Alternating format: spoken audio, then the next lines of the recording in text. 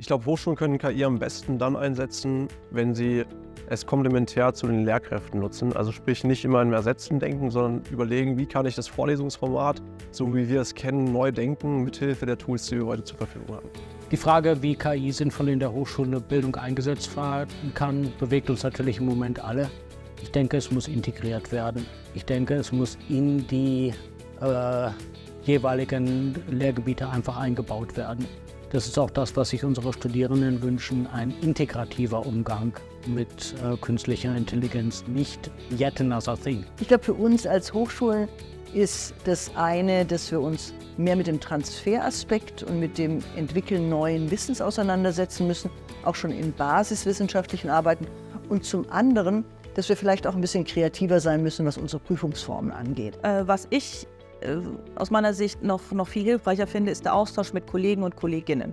Also hier zum Beispiel auf solch eine Veranstaltung gehen, sich inspirieren lassen, wie machen es andere. Ich glaube, es braucht auch ein paar Visionäre und Pioniere, die ähm, voranschreiten und äh, die Ideen bringen und Konzepte bringen und das sehr fördern. Also ich glaube, die äh, Hochschullandschaft in Deutschland hat noch einiges an Veränderungen vor sich, was das Thema generative KI angeht. Aber die Lehre wird natürlich und Lernen wird sehr viel digitaler wird sehr viel individueller, wird sehr viel selbstbestimmter, personalisierter. Also das sind ganz viele ähm, Aspekte. Um KI-Innovationen hervorzubringen, brauchen Hochschulen in allererster Linie Kapital.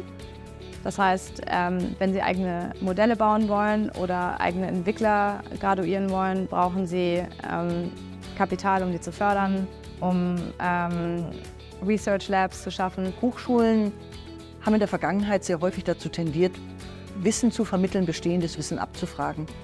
Ich glaube, das gehört der Vergangenheit an und KI leistet dazu einen wesentlichen Beitrag.